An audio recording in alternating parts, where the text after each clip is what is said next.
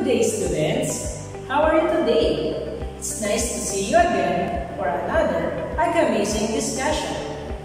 Today, we will be discussing our first lesson for Quarter 2 of Science 9. Quarter 2 is about chemistry. Are you excited? Great!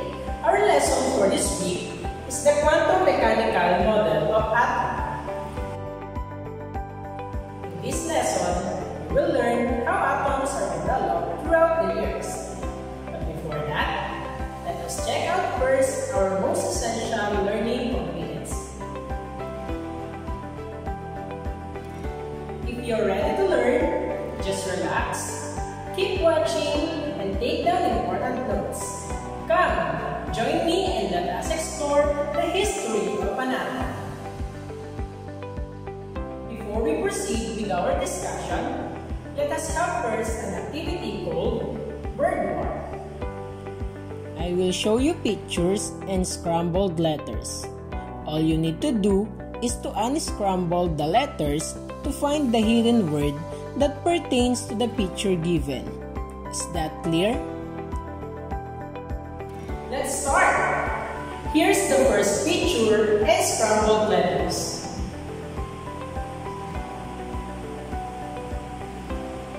What do you think it is?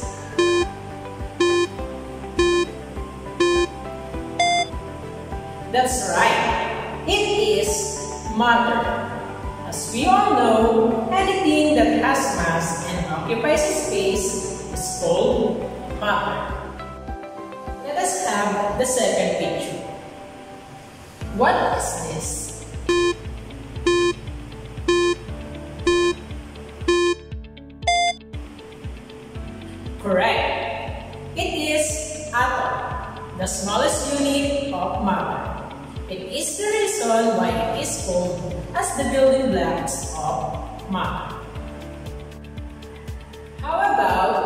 this?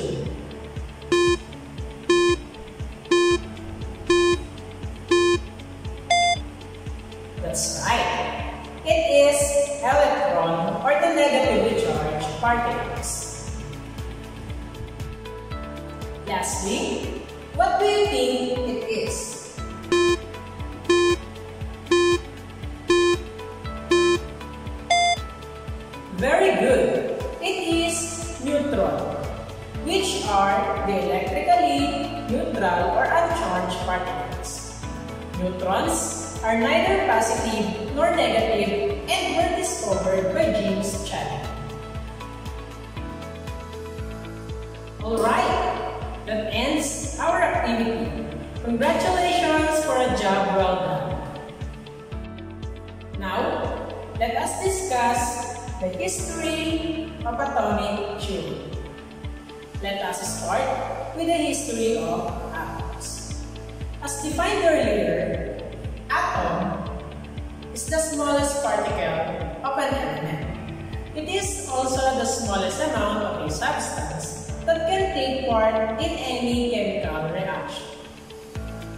The first person who began to search for a description of matter was the Greek philosopher named Democritus. Democritus named the smallest piece of matter atomus, which means not to be had. Democritus proposed his own atomic model. According to his atomic model, atoms were small, hard particles that were all made of the same material. but different shapes and sizes. This piece is indivisible. Next, we have John Dalton's atomic model.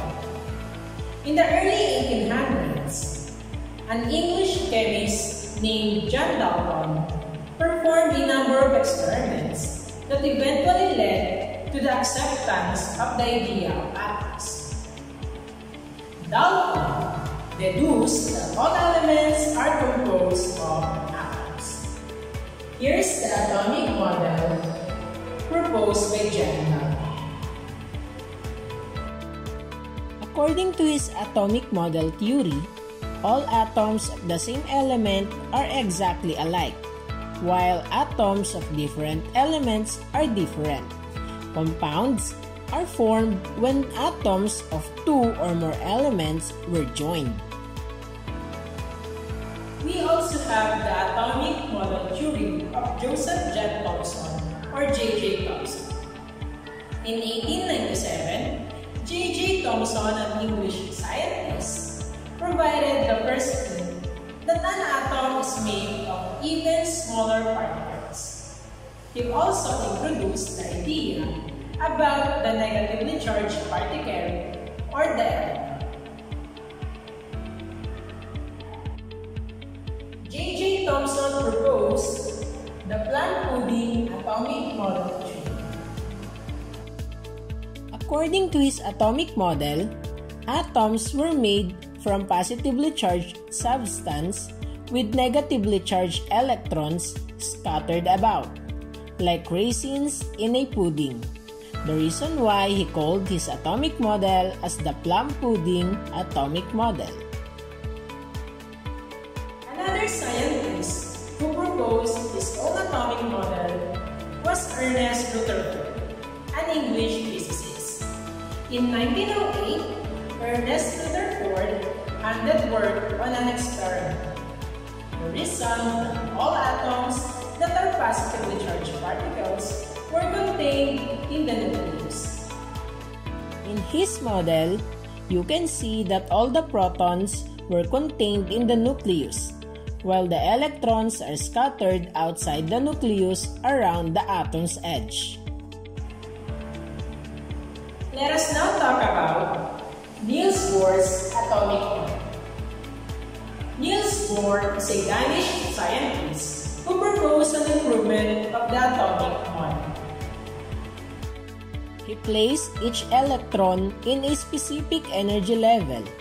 Electron moves in definite orbits around the nucleus, much like planets circle the sun in the solar system. The reason why his atomic model was also called as the planetary atomic model. These orbits or energy levels are located at certain distances from the nucleus. Lastly, we have Louis Victor de Broglie and Erwin Schrödinger in their wave mechanical model of the atom. In the mid-1920s, it had become apparent that the Bohr's model was incorrect. These two scientists suggested that because light seems to have both wave and particle characteristics, or behave simultaneously as a wave and as a stream of particle, the electron might also exhibit both of these characteristics.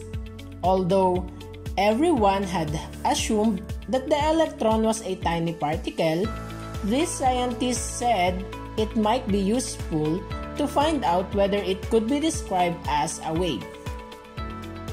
Schrödinger carried out a mathematical analysis based on this idea. Then, he found out that it led to a new model for the hydrogen atom that seemed to apply equally well to other atoms, something Bohr's model failed to do. This model is then called as the wave mechanical model of atom. Werner Heisenberg then proposed the uncertainty principle, which states that the location and velocity of an electron is impossible to know simultaneously. In the Bohr's model, electron was assumed to move in circular orbits. On the other hand, in the wave mechanical model, a mathematical description of the electron called wave function or atomic orbital was introduced. It is now then called as the quantum mechanical model of atom. The quantum mechanical model of atom describes the probable location of electrons within the atom using atomic orbitals. Schrodinger's equation required the use of quantum numbers to describe each electron within an atom corresponding to their orbital size, shape, and orientation in space. Let us now discuss the quantum numbers and orbitals. The first quantum number is the principal quantum number represented by small letter n.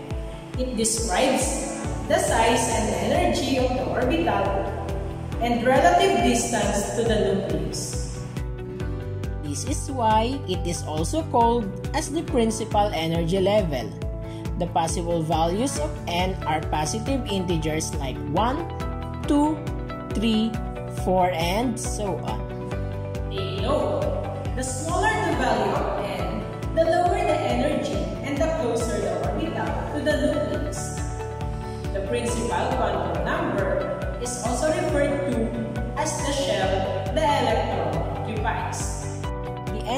levels of the atoms correspond to the rows of the periodic table of elements, meaning to say, elements in the same row have the same energy level. For example, Elements in the row 4 of the periodic table of elements have 4 shells. Each shell contains one or more subshells or sublevels, and each subshell have one or more orbitals. The next quantum number is the angular momentum quantum number, designated as a small letter m. It describes the shape of the orbitals. Its value is related to the principal quantum number and has a allowed value of 0 to n minus 1. For example, if we have 4 as the value of n, then the possible values of L would be 0, 1, 2, and 3. Remember class, if L is equal to 0, then the orbital is called s orbital and has a spherical shape. If L is equal to 1, the orbital is called p orbital and has hourglass or dumbbell shape. If L is equal to 2, the orbital is called d orbital and has a clover leaf shape. If L is equal to 3, the orbital is called as the f orbital and has a complex shape. This is how the orbitals and their shape look like. Let us now proceed with the third quantum number, which is the magnetic quantum represented as small letter m sub n. It describes the orientation of the orbital around the nucleus. The possible values of m sub L depends upon the value of L quantum number. The allowed values of m sub L are negative L through 0 to positive L. For example, if we have L equals 3, the possible values of m sub L are negative 3, negative 2, negative 1, 0, 1, 2, and 3. This is why, for example, if we have L equals 1, a p orbital, there are 3 p orbital sublevels corresponding to m sub L values of negative 1, 0, and positive 1.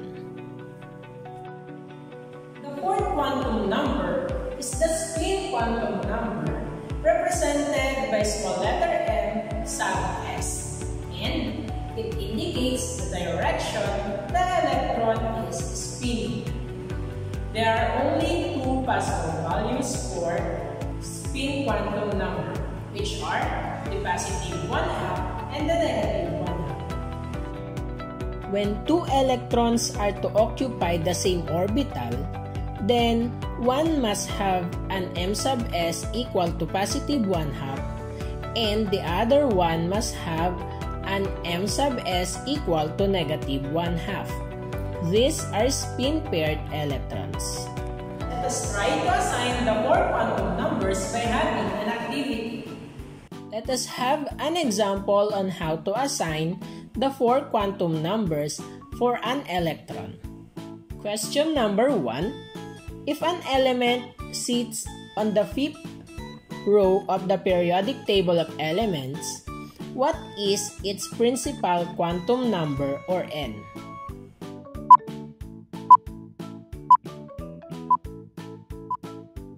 The answer is n is equal to 5 since the energy level of atoms correspond to the rows of periodic table of the elements elements on fifth row have 5 shells the electron occupies. Question number 2. If n is equal to 5, what are the possible values of L?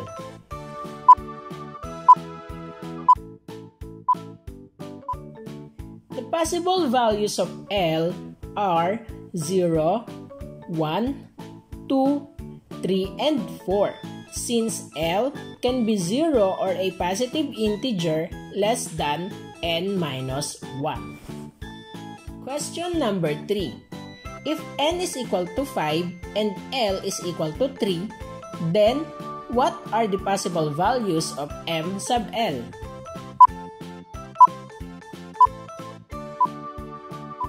Possible values of m sub L would be negative 3, negative 2, negative 1, 0, positive 1, positive 2, and positive 3 since m sub L must range from negative L to positive L.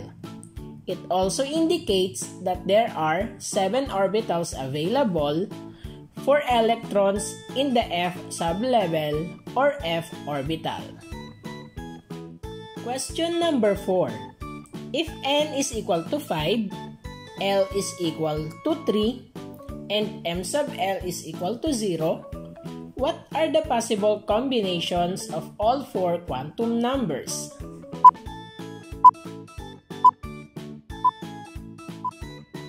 Since there are two possible values for m sub s, there are two possible combinations of quantum numbers for this set and these are First, we have n is equal to 5, L is equal to 3, m sub L is equal to 0, and m sub s is equal to positive 1 half.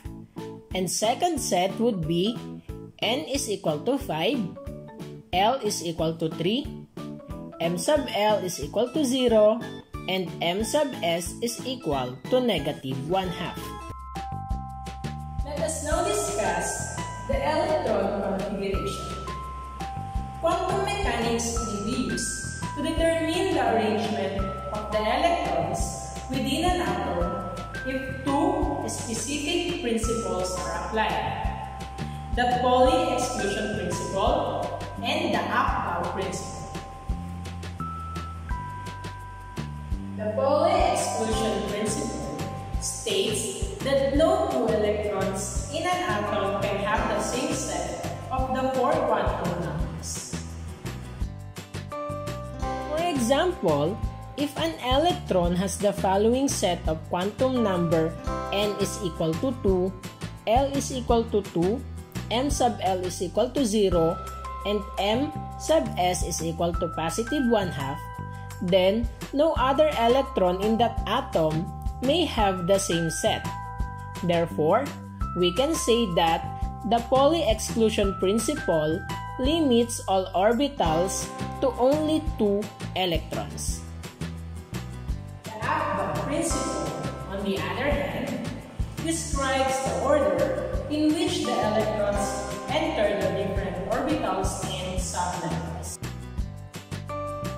Arrangement of electrons builds up from the lowest energy level. The most stable arrangement of electrons has all the electrons with the lowest possible energy. This lowest energy arrangement is the ground state. Less stable or the higher energy arrangements are the excited states. An atom may have any number of excited arrangements, but there is only one ground state. There are several ways too of indicating the arrangement of the electrons in an atom. The most common way is the electron configuration. Any S subshell can hold a maximum of 2 electrons. P subshell can hold up to 6 electrons. Any D subshell can hold a maximum of 10 electrons. And F subshell can hold up to 14 electrons. Let's take a look with this figure. This figure shows the one way of remembering the pattern for filling the atomic orbitals.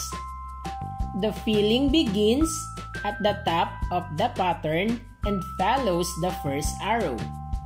When you reach at the end of the first arrow, you go to the second arrow and follow it to the end. The third arrow continues the pattern. It can also represent the electron configuration by using a box diagram, in which orbitals are represented by boxes grouped by sublevel with small arrows indicating the elements. The s orbital is represented as one box with maximum of 2 electrons. The p orbital having 3 boxes with maximum of 6 electrons. The d orbital having 5 boxes with maximum of 10 electrons and the f orbital having 7 boxes with maximum of 14 electrons. In applying electrons to the boxes using the arrows, you must first complete the upward arrows for all the boxes before applying the remaining downward arrows.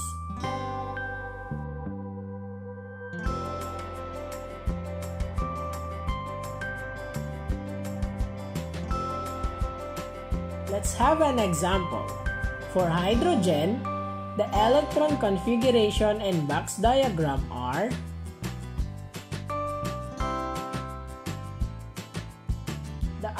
represents an electron spinning in a particular direction.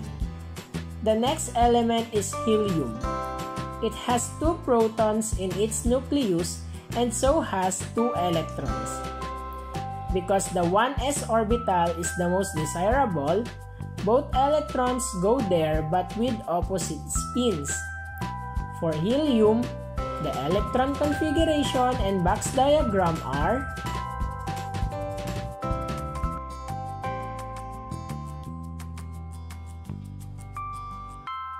For fluorine, the electron configuration and box diagram with 9 electrons are